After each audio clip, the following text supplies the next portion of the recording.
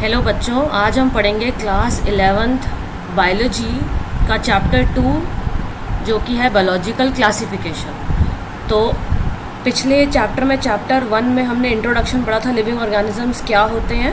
तो आज हम उनको डिटेल में पढ़ेंगे कि क्लासीफाई कैसे करते हैं. तो चलिए स्टार्ट करते हैं.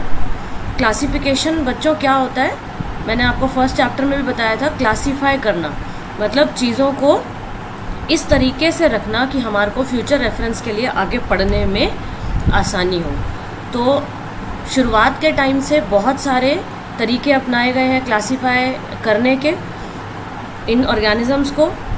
एरिस्टोटल जो था एक साइंटिस्ट था, उनका बहुत ही एक अर्लीस्ट अटेम्प्ट था to classify the organisms on scientific basis कि कुछ ऐसे करेक्टरिस्टिक हों जिसके बेस पे हम इनको क्लासीफाई कर सकें। तो वो साइंटिफिक होने चाहिए।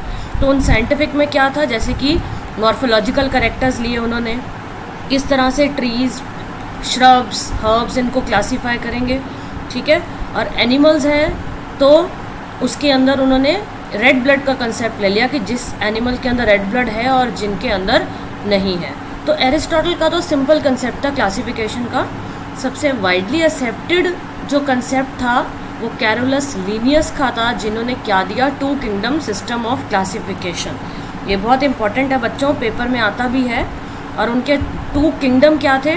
प्लांटे और एनिमेलिया फ़र्स्ट चैप्टर में हमने पढ़ा था कि किंगडम क्या होता है? सबसे highest division highest unit of classification है। तो प्लांटे मतलब प्लांट्स इसमें सारे प्लांट्स आ जाएँगे।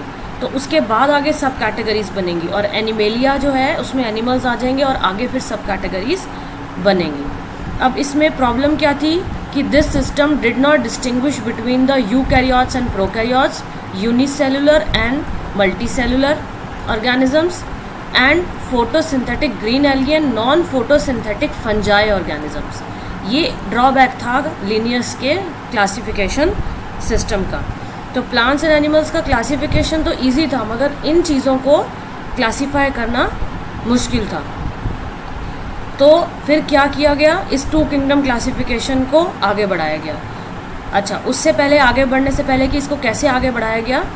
जो करेक्टर्स लिए जाते हैं क्लासीफाई करने के लिए, वो क्या होते हैं? जैसे कि सेल का स्ट्रक्चर क्या है? उसकी बेसिक ग्रॉस मॉर्फोलॉजी क्या है? उसकी नेचर ऑफ़ वॉल क्या है? मोड ऑफ़ न्यूट्रिशन क्या है? हैबिटेट क्या है? मेथड्स ऑफ़ रिप्रोडक्शन क्या है? एवोल्यूशनरी रिलेशनशिप क्या है? उसमें जो चेंजेस हैं विद टाइम टू टाइम वो क्या आए हैं?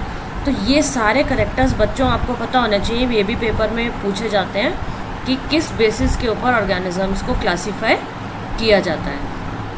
ठीक है बच्चों? तो चलिए, आगे बढ़ते हैं।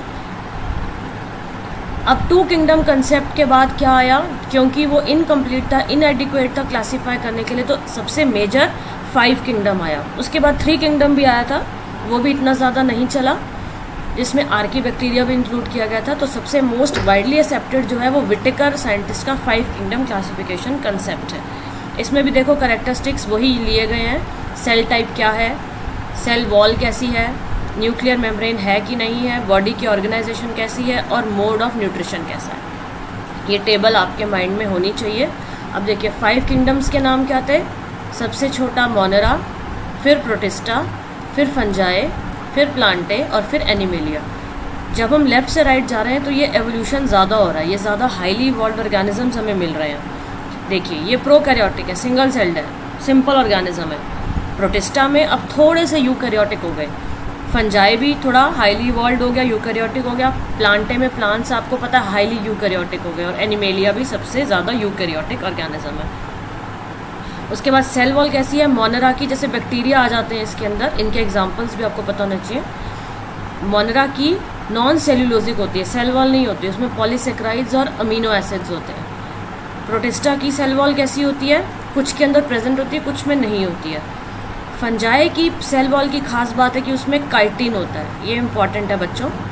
प्लांटे की सेल वॉल सेल्यूलोज होता है, आपको पता है सेल्यूलोज खाते हैं हम, जैसे रफेज खाते हैं, कोई भी सैलड खाइए, उसमें सेल्यूलोज है।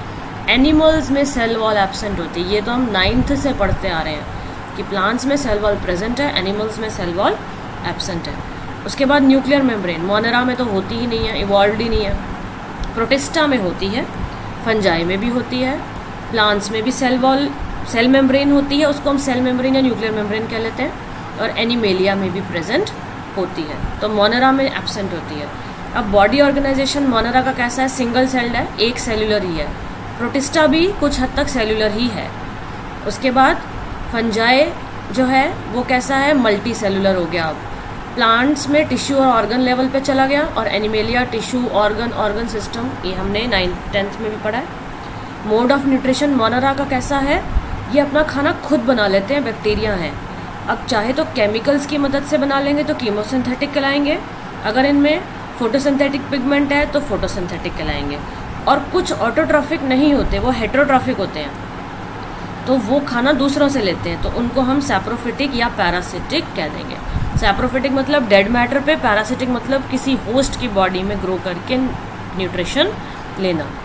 प्रोटिस्टा जो है, वो फ़ोटो ऑटोट्रॉफिक भी हो सकता है और हेटोट्रॉफिक भी हो सकता है। फंजाई जो है, वो ऑटोट्रॉफिक नहीं होती। क्यों नहीं होती? क्योंकि उसमें पिगमेंट फोटोसिंथेटिक पिगमेंट एबसेंट होता है। वो हमेशा हेट्रोट्रॉफिक होती है। चाहे तो वो सैप्रोफिटिक होगी या फिर वो पैरासिटिक होगी। प्लांट्स आपको पता है क्लोरोफिल उनका करेक्टरिस्टिक है तो ऑटोट्रॉफिक होते हैं फोटोसिंथेटिक और एनिमेलिया हमें पता है हम अपना खाना खुद बन, जो है नहीं बना सकते दूसरों पे डिपेंडेंट है इसलिए हम क्या है हेट्रोट्रॉफिक अब इसमें कैटेगरीज हैं होलोजोइक और सैप्रोफिटिक ये हम आगे और जब डिटेल में नीट की तैयारी करेंगे तब हम उसमें पढ़ेंगे। तो ठीक है बच्चों, ये फाइव किंगडम्स की किंगडम की टेबल आपको समझ में आ गई।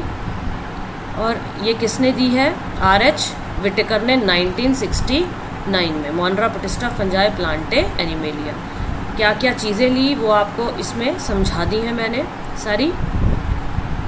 और इन सब के एग्ज़ाम्पल्स आपको पता होना चाहिए। मोनरा जो है, उसका एग्ज़ाम्पल है बैक्टीरिया प्रोटिस्टा के अंदर पैरामीशियम फंजाई में जैसे कि हम आ, ये फंगस होती है हमारे ब्रेड पे ग्रो कर जाती है मोल्ड एस्परजिलस पेनीसीलियम और इवन जो हम मशरूम खाते हैं वो भी फंजाई है। प्लांटे में सारे प्लांट्स आ जाएँगे हर्ब श्रब्स ट्रीज ठीक है?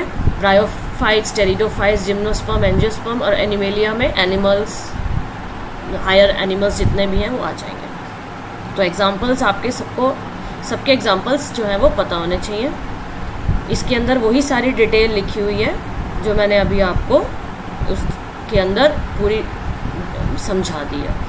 अब सबसे पहले आते हैं हम डिटेल में और पढ़ने किंगडम मोनरा इसमें बैक्टीरिया सोल मेंबर होता है, ये मोस्ट अबंडेंट माइक्रो ऑर्गेनिज्म है, हर जगह पाए जाते हैं सॉइल में भी प्रेजेंट होते हैं एक्सट्रीम हैबिटेट्स में भी प्रेजेंट होते हैं, जैसे कि hot spring desert snow deep oceans तो इनका करेक्टरिस्टिक है कि इनकी सेल वॉल इतनी रिजिड होती है कि ये ऐसी हार्श कंडीशंस में भी पाए जाते हैं। अब चार कैटेगरी में बैक्टीरिया को डिवाइड किया गया उनकी शेप के बेस पे।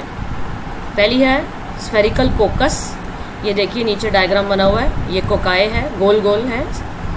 जैसे कि स्टेफाइलो कोकाए एग्ज़ाम्पल है इसका। उसके बाद रॉड शेप होते हैं, जैसे कि बैसिलस ये देखिए रॉड्स हैं।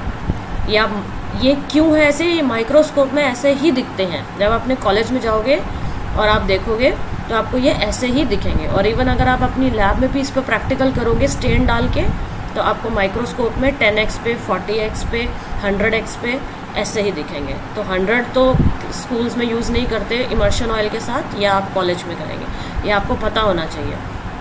उसके बाद विब्रियम कॉमा शेप्ड होता है। ये देखिए, ये कॉमाज है। और एक स्पायरल है स्पायरल शेप्ड है, ये स्पायरल होते हैं मैगी के नूडल जैसे।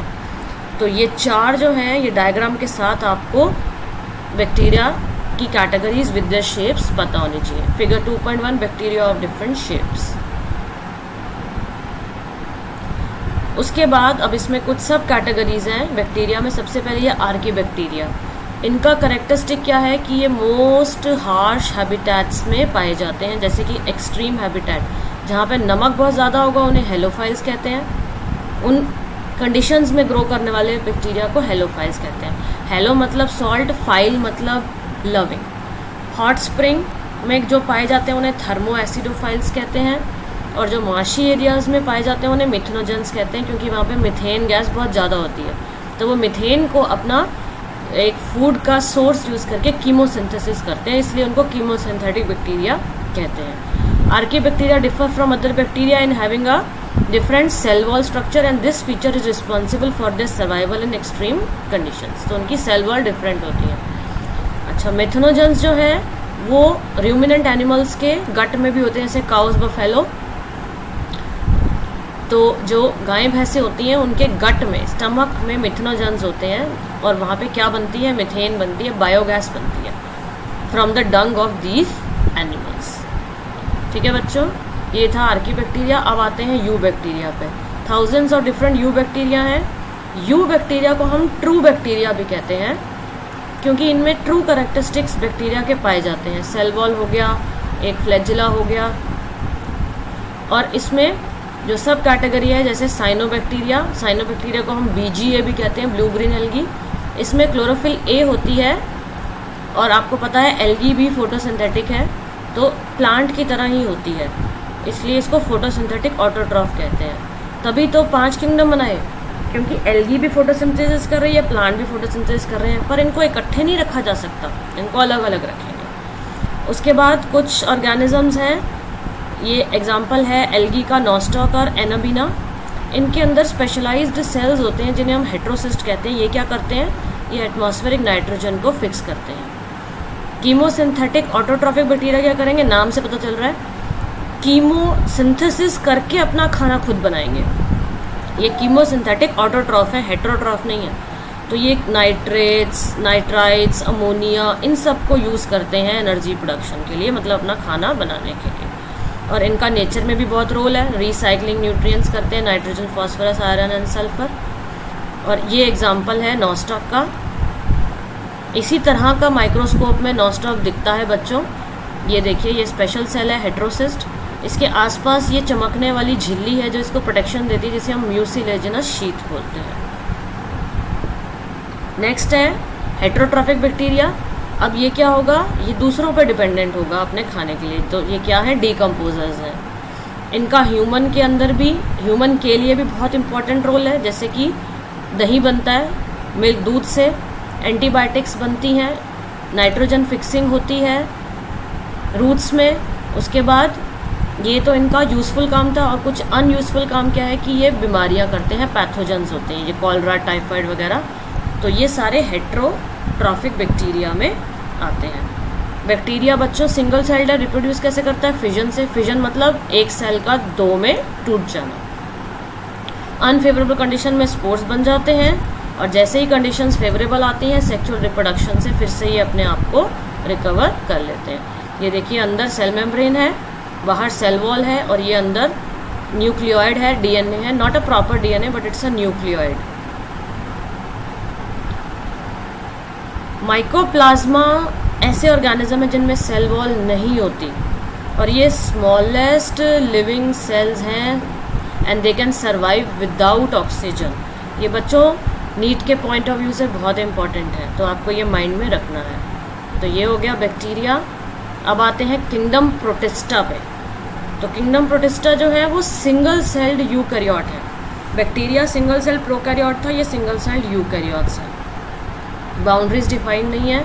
इसमें आगे हम इसमें chrysophyte dinoflagellate euglenoids slime moulds और प्रोटोजोन्स पढ़ेंगे इस प्रोटेस्टा की कैटेगरी में।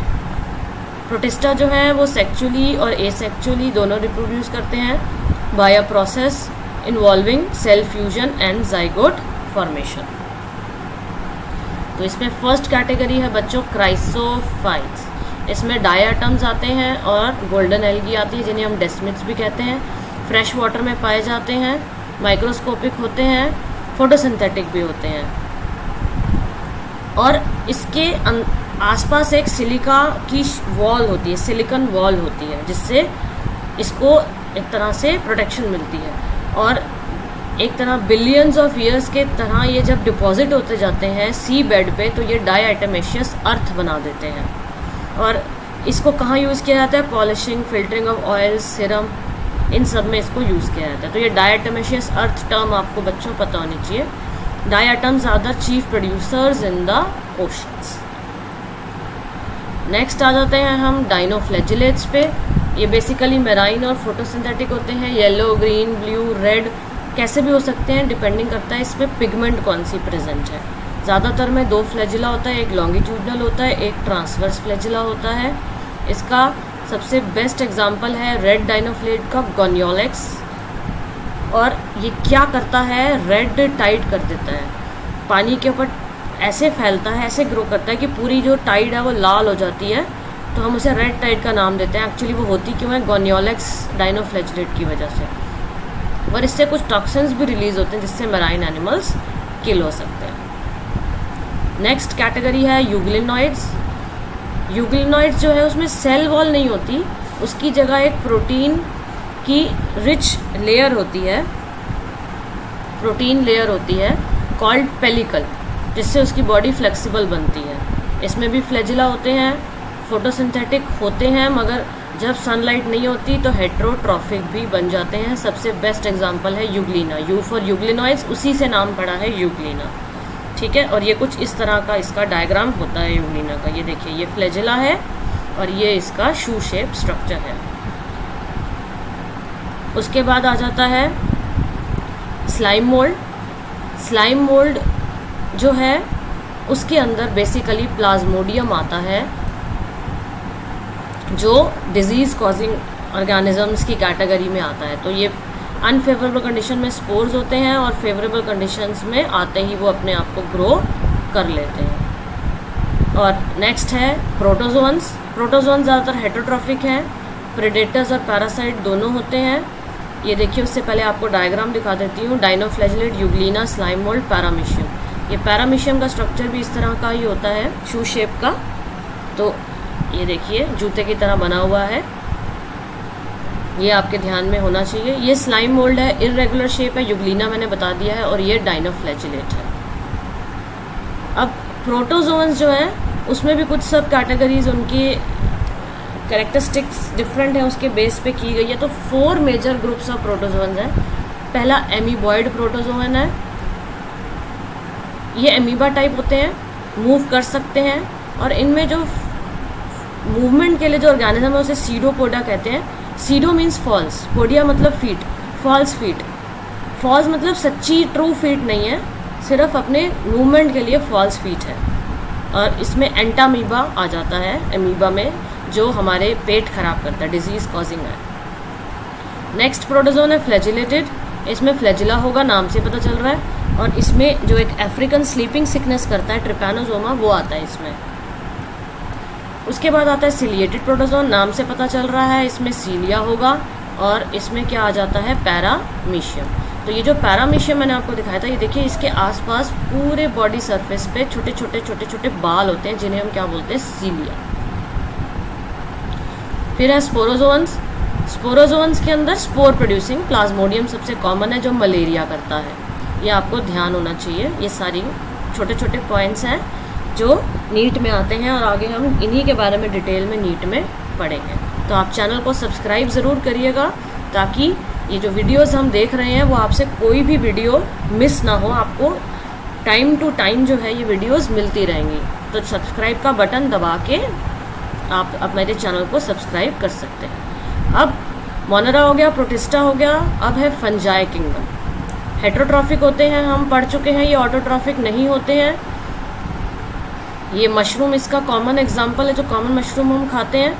उसके बाद जो वीट के ऊपर रस्ट करता है, पौधे को ख़राब करता है, पक्सीनिया, वो भी फंजाई है। पेनिसिलियम जिससे एंटीबायोटिक बनती है, और हमारी ब्रेड को भी ख़राब कर देता है, वो भी एक फंजाई है। रेफ्रिजरेटर में भी ग्रो कर जाता है। क्यों? क्योंकि इतना ये हार्श है, इतना रेजिस्टेंट है, कि ठंडा जो टेम्परेचर है, वो भी इसको रोक नहीं पाता। ग्रो कैसे करता है?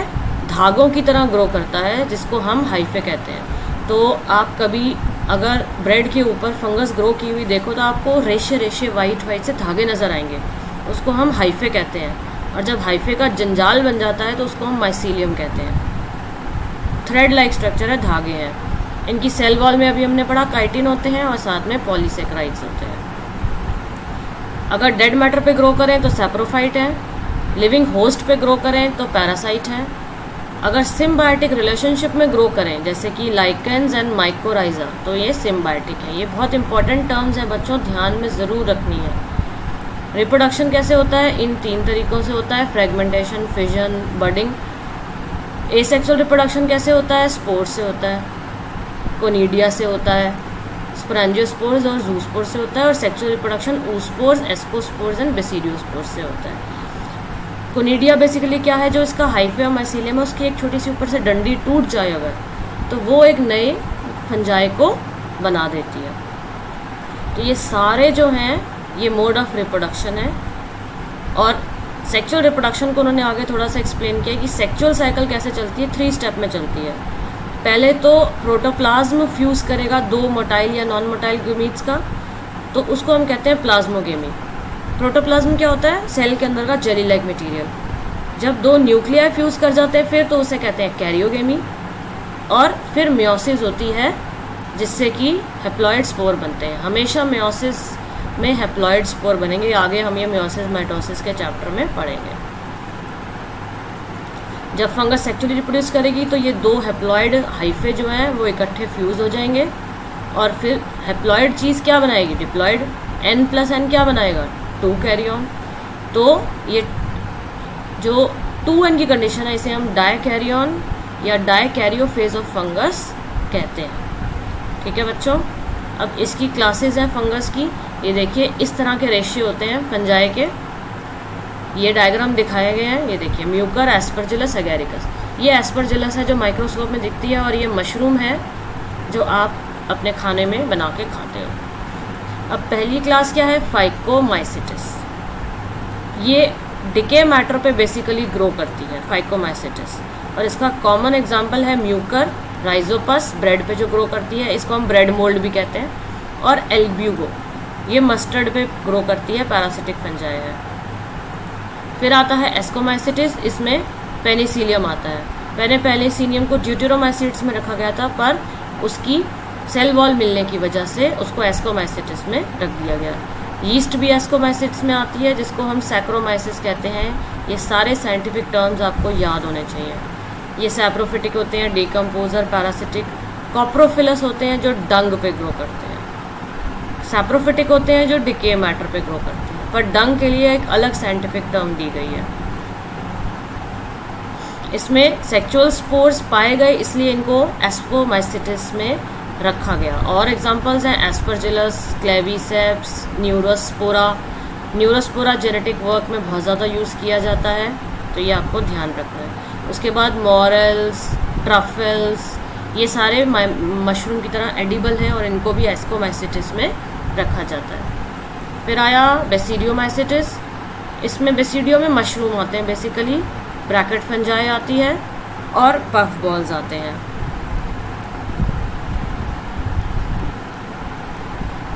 सॉइल पे ग्रो करते हैं।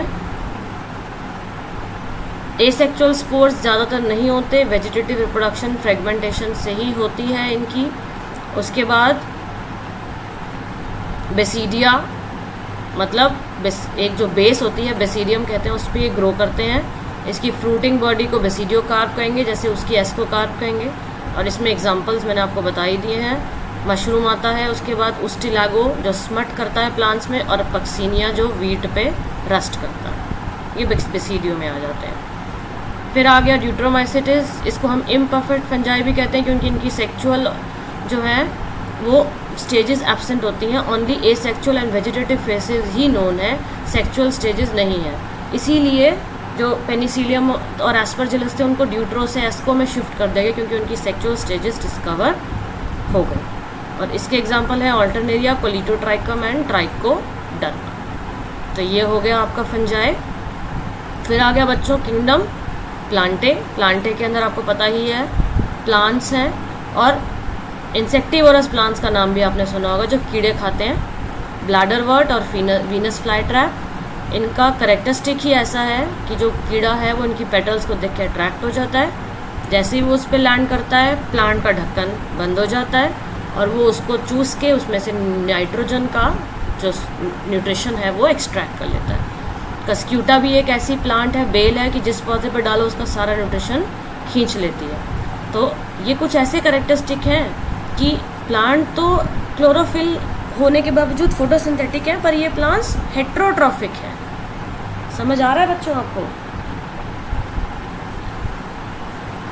लाइफ साइकिल ऑफ़ प्लांट्स में दो फेजेस होते हैं। एक डिप्लॉयड स्पोरोफिटिक स्टेज होती है, और हेप्लॉयड गेमीटोफिटिक स्टेज होती है। ये ऑल्टरनेशन होती रहती है इनकी, इसलिए इसको ऑल्टरनेशन ऑफ़ जनरेशन कहा जाता है। उसके बाद आया किंगडम एनिमेलिया इनके आगे डिटेल्स आगे वाले चैप्टर्स में एनिमेलिया में आपको पता ही है हाइड्रोट्रॉफिक होते हैं सेल वॉल एबसेंट होती है। इंटरनल स्टोरेज कैसे होता है? हमारे अंदर ग्लाइकोजन और फैट की फॉर्म में रिज़र्व फ़ूड मटेरियल होता है।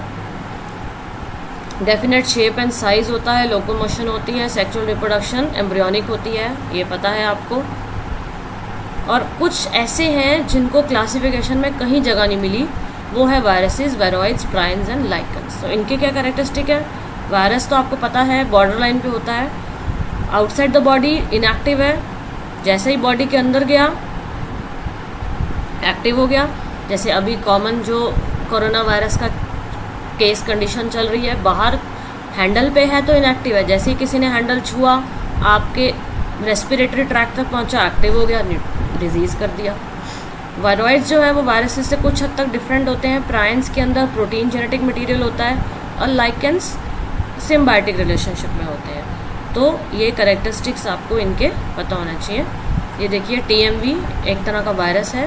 बैक्टीरियोफाज ऐसा वायरस है जो बैक्टीरिया को खाता है, जो कहाँ पाया जाता है? गंगा के वाटर में। गंगा का पानी बैक्टीरिया फ्री क्यों है, साफ़ क्यों क्योंकि उसमें बहुत सारे बैक्टीरियोफेज हैं। वायरस का मतलब पॉइजन होता है। सबसे पहले वेनोस्की ने 1892 में इनको डिस्कवर किया था। उसके बाद एम डब्ल्यू बेजरिंक ने इनको फ़िल्टर किया था और टीएमवी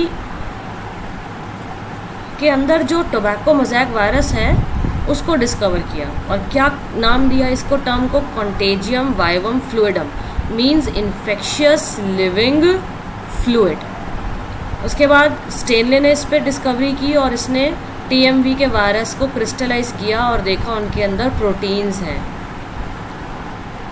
और वायरसेस क्या हैं? ऑब्लिगेट पैरासाइट्स हैं। फैक्यूल्टेटिव पैरासाइट नहीं है ऑब्लिगेट है। ऑब्लिगेट मतलब ट्रू पैरासाइट है। होस्ट में जाते ही उसके अंदर ग्रो करना शुरू कर देंगे। वायरस का जेनेटिक मटेरियल आरएनए भी हो सकता है डीएनए भी हो सकता है। किसी भी वायरस में बोथ आरएनए और डीएनए नहीं होता। वायरस के अंदर एक न्यूक्लियो प्रोटीन होता है और उसका जेनेटिक मटेरियल इन्फेक्शस होता है। प्लांट्स को भी इन्फेक्ट करता है एनिमल्स को भी करता है। अब ये R N A D N A single stranded double stranded depend करता है, कैसा हो सकता है। बैक्टीरियोफाज अभी मैंने आपको बताया वायरसेस दैट इन्फेक्ट बैक्टीरिया ये usually double stranded DNA virus होते हैं। इसका जो बाहर का प्रोटीन कोट है, उसे हम कैप्सिड कहते हैं। स्मॉल सब यूनिट्स कॉल कैप्सोमियस का बना होता है और ये न्यूक्लिक एसिड को प्रोटेक्ट करता है। हेलिकल शेप में अरेंज्ड होते हैं। वायरस डिजीजेस करते हैं मम स्मॉल पॉक्स हर्पीज इन्फ्लुएंजा ये बीमारियों के नाम हैं जो वायरस से होती हैं। एड्स भी वायरस से होता है acquired immuno deficiency syndrome plants के अंदर लीफ की कलिंग करना येलोइंग करना ड्वार्फिंग स्टंटेड ग्रोथ ये कुछ ऐसे करेक्टरिस्टिक्स हैं जो प्लांट्स में देखे जाते हैं। वायरॉइड्स को किसने स्टडी किया था? टीओ डाइनर ने स्टडी किया था। ऐसा इन्फेक्शियस एजेंट जो वायरस से भी स्मॉलर है और इसकी जो डिज़ीज़ ऑब्ज़र्व की गई वो potato spindle tuber disease observe की गई। इसके अंदर फ्री आरएनए होता है प्रोटीन कोट नहीं होता है जो वायरस में फाउंड होता है वायरस में पाया जाता है। इसलिए इसको विरॉयड नाम दिया गया। लो मॉलिकुलर वेट का वायरस था। तो ये कुछ ऐसी चीज़ें हैं जो वेरॉइड्स को वायरस से डिफ्रेंशिएट करती हैं। प्रोटीन कोड नहीं होता फ्री आरएनए होता है। प्राइंस जो है, प्रोटीन जेनेटिक मटेरियल होता है और सबसे कॉमन डिज़ीज़ जो देखी गई, वो बीएससी देखी गई बोवाइन स्पॉन्जीफॉर्म इंसेफ्लोपैथी जो मैड काओ डिज़ीज़ करती है। पागल हो जाती है काओ और C R Jakob disease in humans होता है। ये एनालॉगस वेरिएंट है। फिर लाइकेंस जो सिम्बायोटिक रिलेशनशिप करता है किसमें होता है? एल्गी और फंजाई में।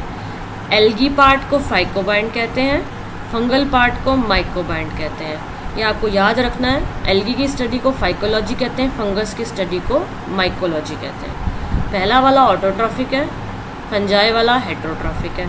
तो एल्गी कैसे सिम्बाइसिस करती है? खाना देती है फंजाई को फंजाई उसको शेल्टर और न्यूट्रिशन देता है। तो जैसे होता है ना, आप मम्मी पापा के साथ रह रहे हो तो आप एक तरह के लाइकन हो। आप उनकी काम में मदद करते हो, वो आपको आपका जीवन चलाने में हेल्प करते हैं। तो यहाँ पे भी सिम्बायोटिक रिलेशनशिप इसी को कहते हैं। म्यूचुअल तरीके से काम करना, एक दूसरे की हेल्प करके। तो इसी के साथ बच्चों, ये चैप्टर फिनिश हो गया। उम्मीद है आपको ये कंसेप्ट आज का समझ में आ गया होगा। अगली बार नेक्स्ट चैप्टर के साथ नेक्स्ट वीडियो में मिलेंगे। तब तक इस वीडियो को बार बार देखिए, समझिए ताकि आपको कंसेप्ट क्लियर हो जाए और अगला चैप्टर समझने में और आसानी हो। चलिए, आज के लिए बस इतना ही। Bye bye